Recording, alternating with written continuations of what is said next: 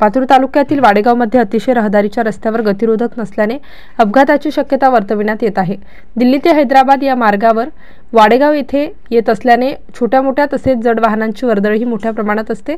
तर वाडेगाव येथील बाजारपेठ मोठी असल्याने परिसरातील बहुतांश गावातील नागरिकांचा येथील बाजारपेठेशी सतत संपर्क येतो. तसेच शाळा महाविद्यालयात शिक्षण घेण्यासाठी स्थानिक व परिसरातील विद्यार्थी संख्या मोठ्या संख्येने आहे.